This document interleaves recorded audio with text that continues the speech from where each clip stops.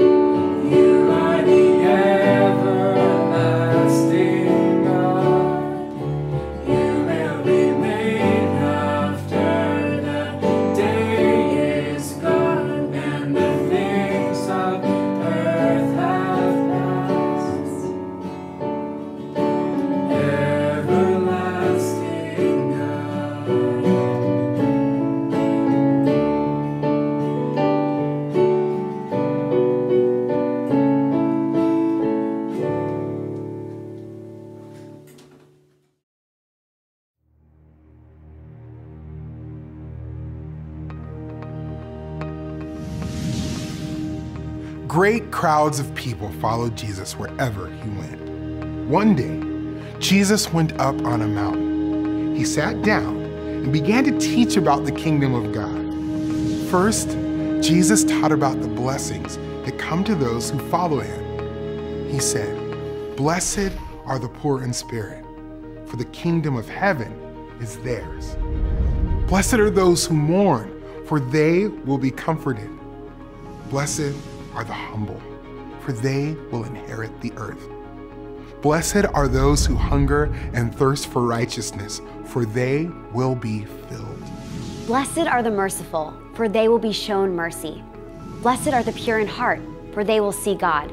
Blessed are the peacemakers, for they will be called sons of God. Blessed are those who are persecuted for righteousness, for the kingdom of heaven is theirs. Then Jesus taught how believers should live. Jesus said that believers are the light of the world. Let your light shine before others so that they may see the good things you do and choose to praise God. Then Jesus taught about God's law. Jesus did not come to get rid of the law, but to obey it perfectly. He said that to enter heaven, a person can't just look righteous on the outside like the righteous leaders. A person must be righteous on the inside too, obeying God for the right reasons. Jesus said, Love your enemies and pray for them. When you give to people who are poor, give in secret. And when you pray, don't pray just so that people will hear you. Jesus taught the people how to pray. He also said, Forgive others if you forgive those who sin against you, God will forgive you too. But if you don't forgive them, God will not forgive you. Jesus said, Do not collect treasures on earth. They can be destroyed or, or stolen. Collect treasures in heaven instead. For where your treasure is, that is where your heart will be also. He taught that God provides for his people. Jesus taught the people many things. When he finished teaching, the crowds were amazed because he taught them like one who had authority. Jesus taught people what it means to follow him. He taught how people should live, how they should treat one another, and how to love God. People who trust in Jesus live to honor God and show what his kingdom is like.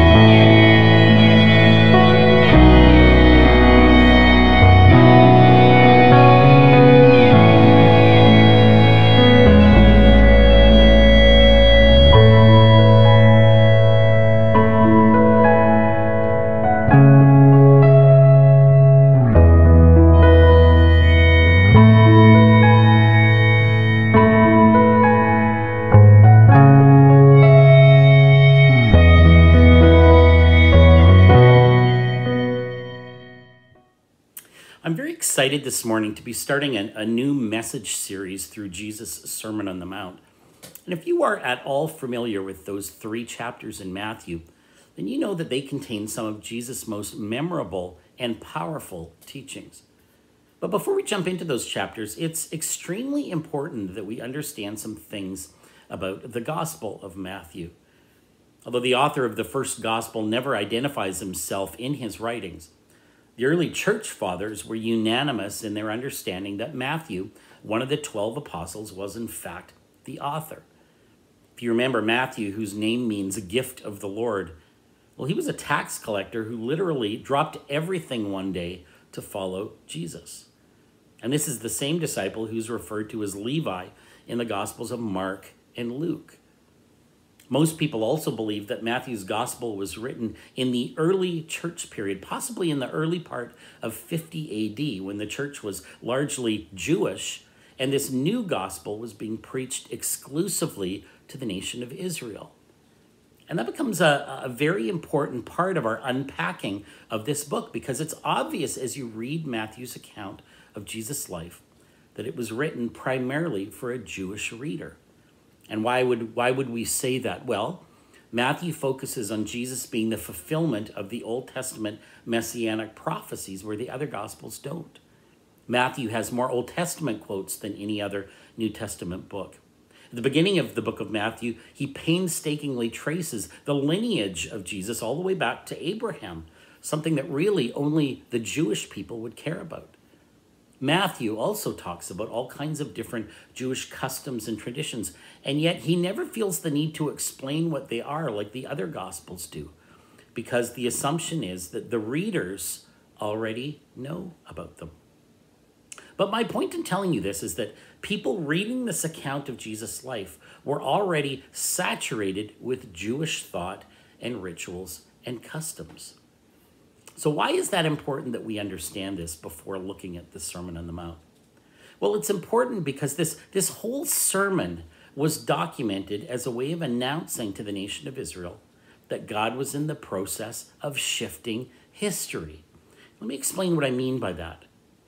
The Sermon on the Mount is likely one of the most disturbing writings in all of the New Testament, and especially if you were part of the Jewish faith. Jesus is, in many ways, dismantling some of their most held to beliefs.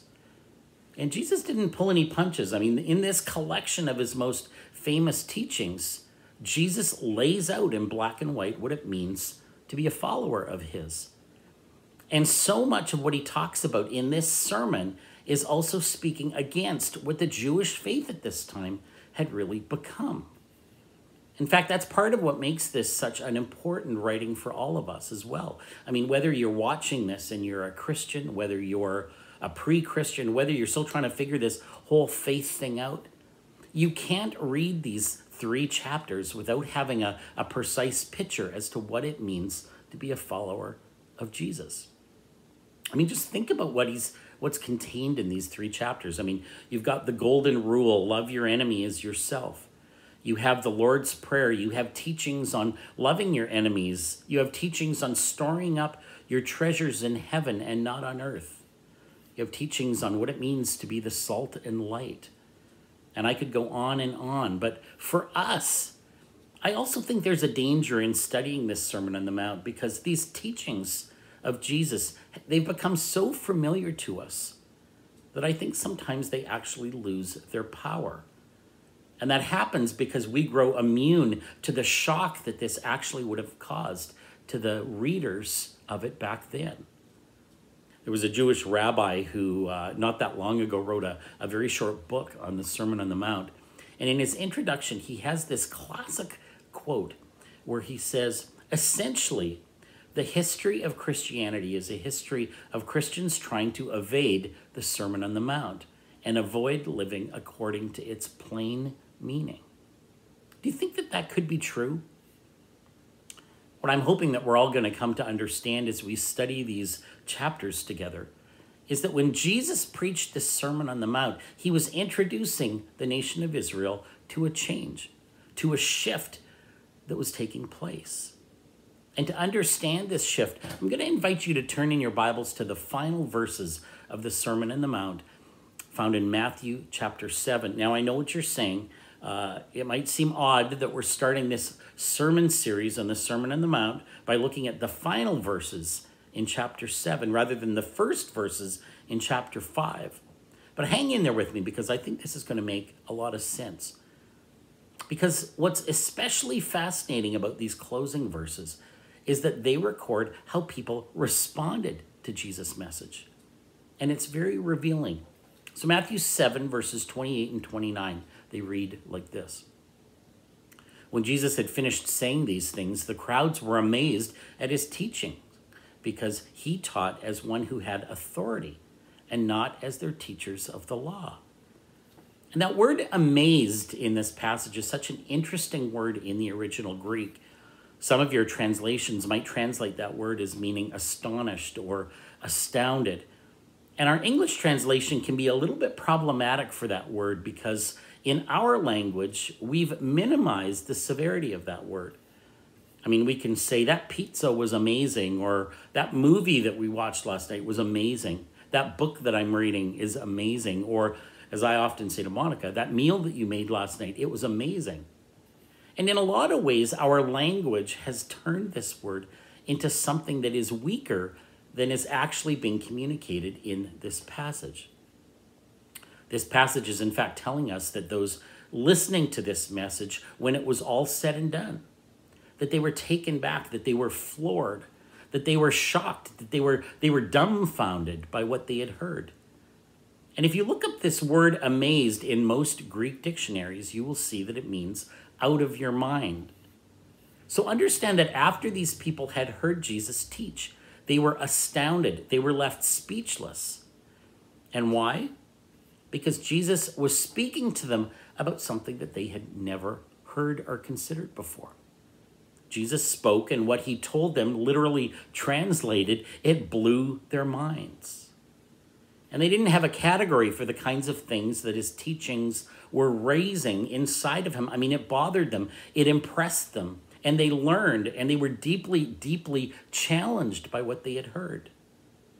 And what challenged them, according to this passage, what challenged them so much seemed to relate more to Jesus' authority and his authority in relationship to Israel's law.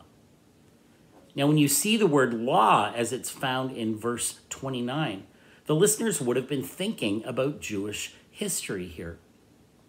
The Greek word for law gets its root word from the Hebrew word Torah, which is also a reference to the first five books of the Bible what we as Christians call Genesis, Exodus, Leviticus, Numbers, and Deuteronomy, well, in the Jewish tradition, they call that the Torah. And the Torah contains uh, really the story of the nation of Israel, but it also contains the Jewish laws. And there's a bunch of commands that God gives to Israel in these books, the most familiar of which are the first 10.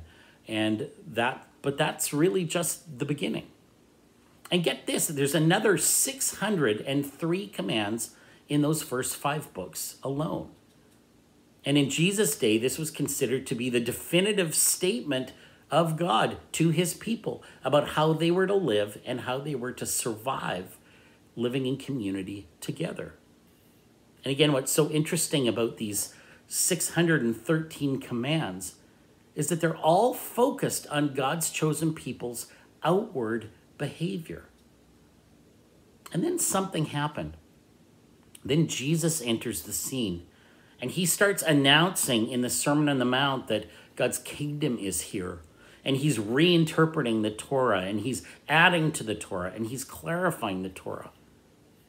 And frankly, people didn't know what to do with this. In fact, going back to the passage, we're told that his teachings were blowing people's minds because, again, they didn't have any kind of categories to put this kind of teaching into. And Jesus was speaking about all kinds of different things, and he was speaking about it with authority. And then Jesus in chapter 5, verse 17, he says this.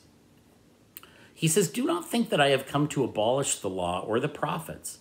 I have not come to abolish them, but to fulfill them. For truly I tell you, until heaven and earth disappear, not the smallest letter, not the least stroke of a pen will by any means disappear from the law until everything is accomplished. He says, I have not come to abolish the 613 laws, but I've come to fulfill them. And the people's minds are blown by this because he's not just saying this, but he's saying it with, with a supernatural kind of authority that they were picking up on.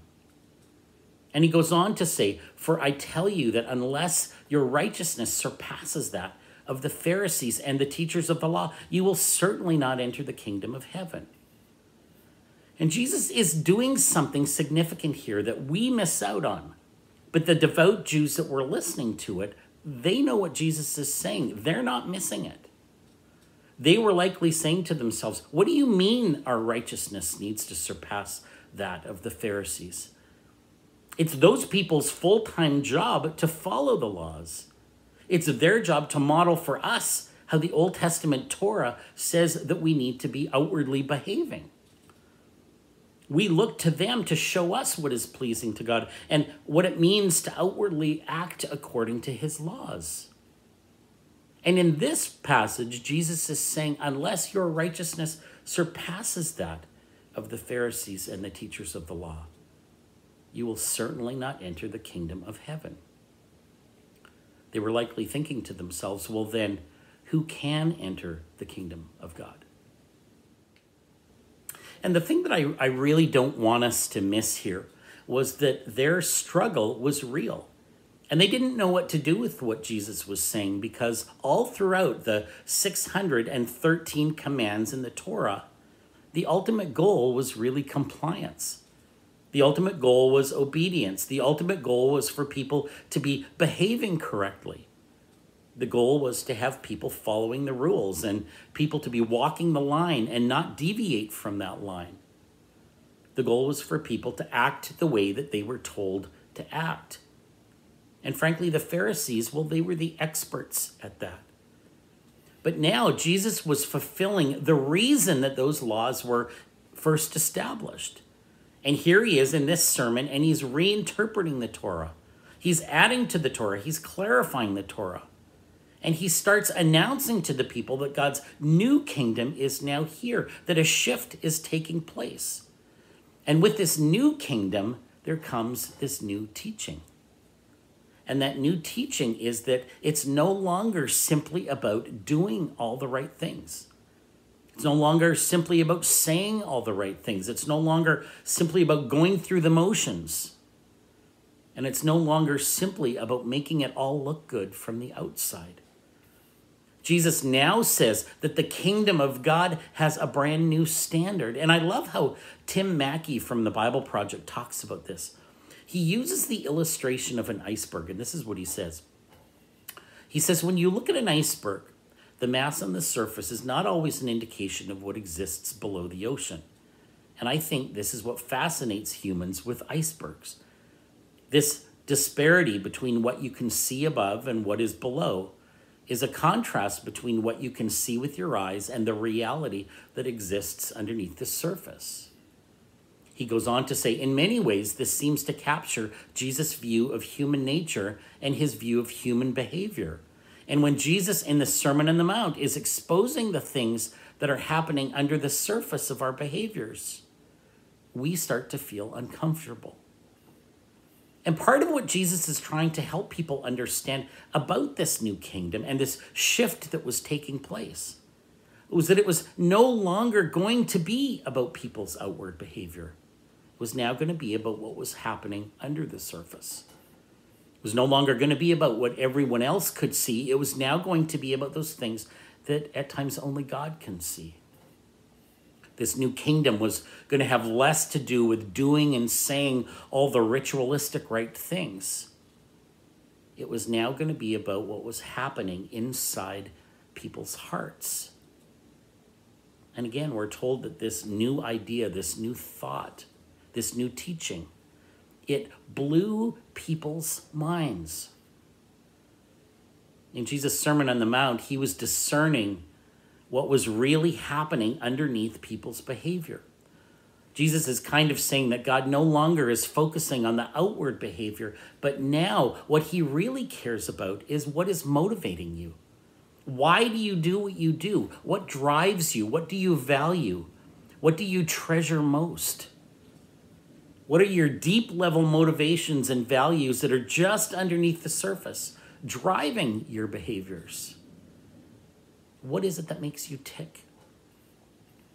And what you hear throughout this incredible three chapters of Jesus' teaching is that in this new kingdom, Jesus is not satisfied with simply forming yet another community of people who are just about behavior modification. Jesus is here to address the real issues and the real problems with the human condition. And Jesus is here to expose sin, which is why reading the Sermon on the Mount can at times be incredibly painful. But the great news is that Jesus also moves us towards the ultimate solution. Jesus is saying that I haven't come to abolish the Torah or the set of 613 laws. Rather, I've come to fulfill them. For truly I tell you, until heaven and earth disappear, not the smallest letter, not the, the least stroke of a pen will by any means disappear from the Torah until everything is accomplished. Therefore, anyone who sets aside one of the least of these 613 commandments and teaches others accordingly will be called least in the kingdom of heaven. And whoever practices, lives out, actively teaches these commands will be called great in the kingdom of heaven. For I tell you, unless your righteousness surpasses that of the Pharisees and the teachers of the law, unless the quality of your relationships surpass that of the Pharisees and the teachers of the law, unless the integrity with which you follow God and behave in your relationships surpasses the Pharisees and the teachers of the law, unless all that surpasses the most religious people that you can possibly even dream of or imagine, there's no way that you can enter the kingdom of heaven. And that's a tough teaching. And he says all this with such power and authority. Again, it says people's minds were blown by it. And after he tells them this, he goes on to give the people six examples of how the Torah will now look different. Out of the 613 laws, he pinpoints six and he says, This is how my new kingdom is going to come and take over the Torah. It's as if he takes this deep dive look at the iceberg from underneath the surface. And he says the behavior can be up here above the surface, but now we're going to take a look at what's underneath the surface. In his first example, he says this in chapter 5, verse 21. He says, You have heard that it was said to the people long ago, You shall not murder, and anyone who murders will be subject to judgment. And we all know that that's the sixth commandment, right? But this is what's changing. In verse 22, Jesus says, But I tell you that anyone who is angry with a brother or sister will be subject to judgment.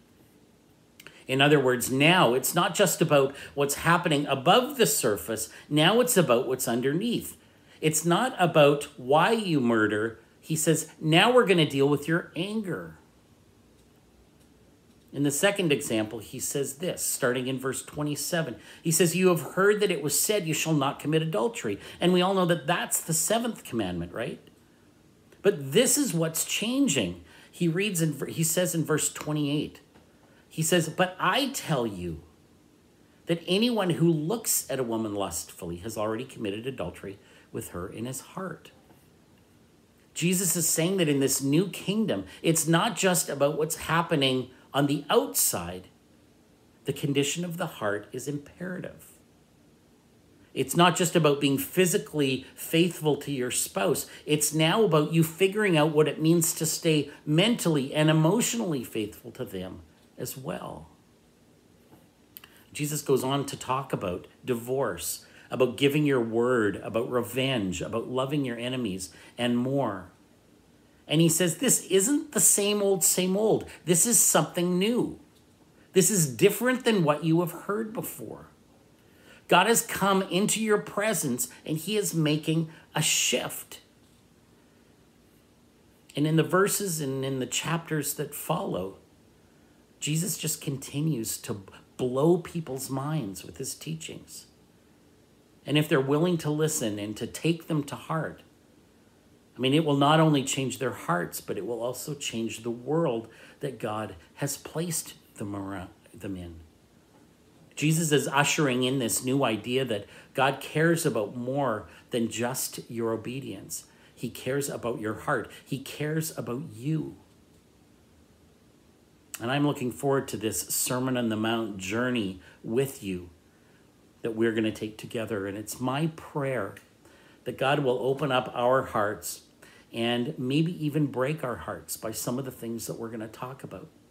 It's my prayer that the Holy Spirit would use these powerful teachings of Jesus to challenge us with truly what it means when we say yes to following Him. Jesus, I want to thank you for your presence with us as we've begun this journey together of studying uh, the Sermon on the Mount, this powerful and sometimes painful and difficult teaching. Jesus, I pray that our hearts would be open and receptive to the, the same kind of troubling change that you might want to bring to us, that you did to those that were listening that day. Father, make us receptive to your Holy Spirit's guidance as we move through these important chapters. We ask this in your name.